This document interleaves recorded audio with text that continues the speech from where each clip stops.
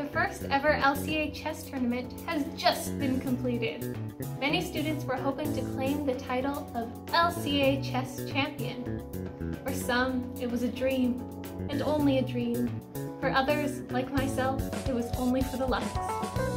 Nevertheless, many challengers entered the tournament.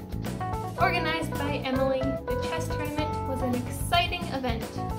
Nerve-wracking matches, thrilling upsets, and brilliant moves were witnessed by players and spectators. Of course, the final match between Ace and Jerry was especially interesting. Within the first minute of gameplay, Ace played an excellent opening that led to the capture of Jerry's queen. Jerry played from behind for the rest of the match. Although he made solid moves, Jerry was pinned down by Ace's advantage and forced into a loss by time. Ace was named LCA Chess Champion. Congrats, Ace! Let's move on to some news from the senior high drama class. The teacher of this class is Mr. Cornelson, who also teaches music here at LCA. In drama, students learn many things, but recently they have been studying the main elements of drama, which includes plot, theme, character, music, and spectacle. Mr. Cornelson does a great job teaching his students all he knows about drama. Currently, they are doing a film analysis on the movie Cyrano de Bergerac. This is one of two film studies they have conducted this entire year, and as you can see, they are enjoying this movie. You may be asking, what does an average day of drama look like?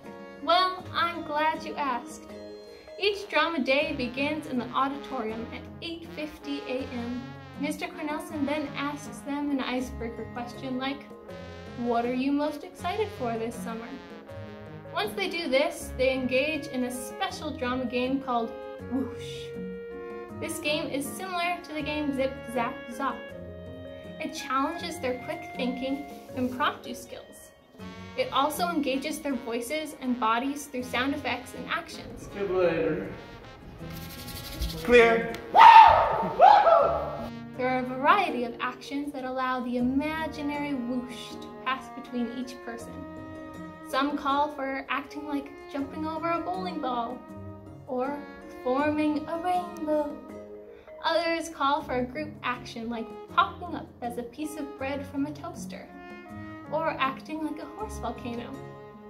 Anyways, new actions are added each class, so everyone has to remember the lines, motions, or reactions associated with each action. All in all, this is an amusing warm-up game to start off each drama class. After Whoosh, Mr. Cornelson might go into a drama lesson. They might practice for a play, or as we witnessed one day, they might go into another educational game. The second exciting game we saw was a pantomime game. This game allows students to understand and experience a pantomime. This style of acting requires exquisite acting because words or noises are not allowed to be used. Here's how the game works. First, one student is selected. This student is then given a scene to act out. Next, he or she takes on a solo performance. The rest of the class watches and tries to figure out what is being portrayed, whether it's digging a hole, cowering from lightning, milking cows, or ordering something from a restaurant. Once a student has realized what is being acted, he or she must take the stage and give a solo performance of their own. Finally, Mr. Cornelson will tell the class what was being acted out, and the cycle will repeat with the selection of another student to act. The senior high drama class loves playing these games. They are great for being both educational and fun at the same time. Once again, thank you, Mr. Cornelson, for teaching the senior high drama class. Everyone will be looking forward to the class's future performances. Shoes are in need of a new home among students. Brainsport has donated many pairs of gently used shoes to our school.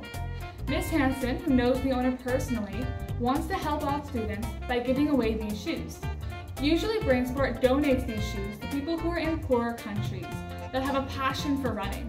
However, due to the pandemic, this is no longer possible. Instead, Miss Hanson is able to donate them to people in our school for free. See Miss Hanson to get a pair of your own. Don't forget to dress up for the last month of Tuesday of the month of May. This month's Spirit Day for the upstairs learning centers is Formal Day. Come to school dressed up in your most formal wear. Like usual, remember to have fun and do your best to participate.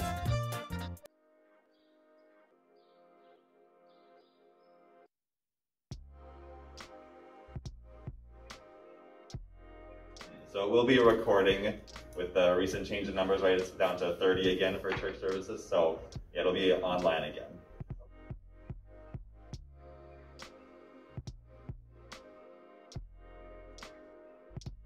Thank you. I'm glad to hear that we enjoyed the, the Christmas concert. I think so. I think specifically with these things, a lot of what the band and choir have been doing has started since September, so they've had a, more time to work on a lot of the things.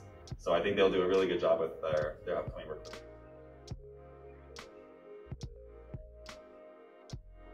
We are hoping to have drama, yes. Junior drama will for sure do something again, and we're still looking at what specifically we want to do for the drama 20 class. But yes, we're hoping that all of our drama classes can do something for the spring class. Thank you for your time. The Student Council is hosting an art challenge. The theme is animals or nature. If you're thinking, hey, I can't draw, this is lame, do not worry. That's why it's called an art challenge, not a drawing challenge. You can draw, paint, do digital art, sculpt, color, and so on. Let your creative colors shine. Looking around your classroom, you may be thinking, there are so many more people who are better than me there's no point in joining? Well, to make it fair, we divided the challenge into three categories beginner, intermediate, and advanced. There will be one winner from each category. The winner from the beginners will get 100 lux, the winner of the intermediate will get 300 lux, and the winner of the advanced will get 500 lux, and a box of art supplies. But all participants get 20 lux just for trying. If you are leaning more toward the coloring option, we have printed out three coloring sheets for each category, which is on the screen right now.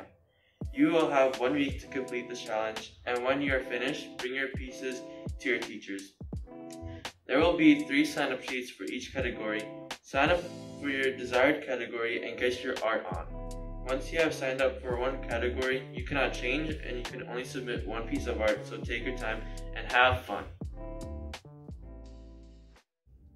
For our next announcement, we would like to introduce a fun challenge. Neither skill nor experience will be necessary for this contest. Let me explain. This week, a candy count contest is making its way to the upstairs learning centers. The rules are simple.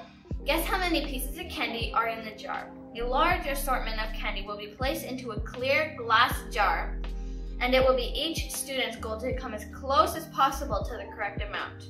The closest person will earn 200 lux for their house. Watch the bulletin board for more announcements and get ready to put your estimation skills to the test. This school year has turned out to be one unlike any other. We hope that students upstairs have been enjoying the challenges and tournaments the Student Council have come up with. However, the fourth quarter is upon us. The journey you've shared with the members of your house is coming to an end. Soon, one house will be declared winner and share a victory celebration. In light of this, we'll give you one final look at each house's lux. As you can see, the victory is anyone's guess. Keep in mind these numbers do not include the recent chess tournament in which Arco earned the most lux. Not much time remains. The last stretch of this year-long race is upon us.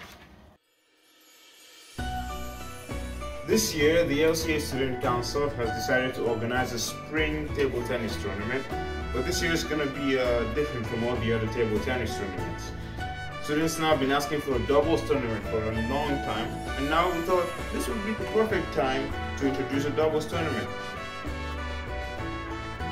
Each team will play to 11 with a win by 2 rule. Also, you will only be able to choose a doubles partner from within your house. This will also be a double elimination bracket, meaning if you lose once, you still have a chance to keep playing in the tournament. The tournament will most likely take place in the lounge, but this could change depending on the circumstances. There will be paddles in the lounge, but we encourage you to bring your own. The competition will start on Monday of week 5. The winners of this tournament will earn 2,000 lux from, for their house.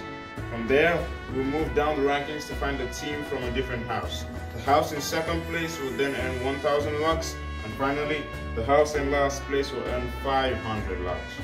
In short, first, second, and third prizes will be determined by the house. That way, each house is guaranteed to at least earn a little lux. Plus, the participation prize of, of 20 lux will be given to every student who joins. Keep in mind that this tournament may be the final tournament of the year. Go for gold and take home 2,000 lux for your team. Bye! I don't know what I'm doing. I don't want to do this. I don't want to do this. Are you planning on returning to China one day? Wait, never mind. These are Sam's questions. um. And you also don't want me to. I don't want you here. Leave. No, seriously. Fun sitting on the bench. Yeah, I, I, I scored. I scored. I scored like two. She's dying. Look at this. Quick come if you want. No, no, no, no, no, no, no. Bro, it's fine. We get to play a lot of games.